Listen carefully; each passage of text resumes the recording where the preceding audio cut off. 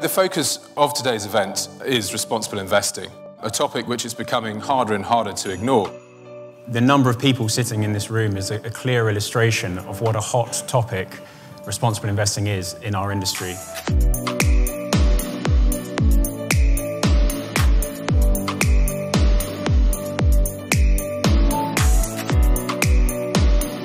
got a, really packed and I hope informative agenda today, um, which I'm sure you will all enjoy.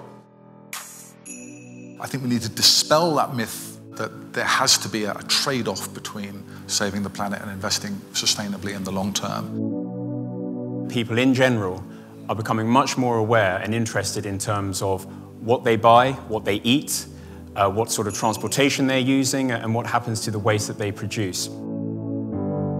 Climate change. This is a massive challenge for the global economy but it's also an opportunity for the companies that are providing the solutions to these problems.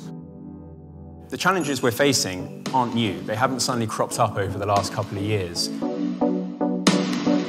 The reason why you should be you know, paying attention and listening to this is, is growth. Uh, responsible investing provides greater trust in firms. It adds a feel-good factor to investing. Um, it sets an example for future generations. Um, but perhaps the key one is that you know, the growth potential is dramatic and returns are no longer perceived as being low. So if that's not enough to get involved in it, I don't know what is.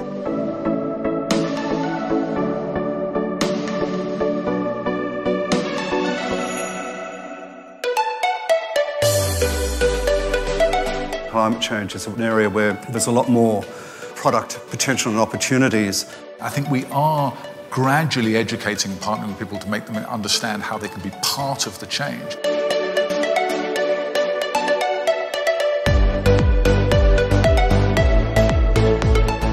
How you are motivated is the sum total of everything which has happened to you personally since you were little and how you reacted to it.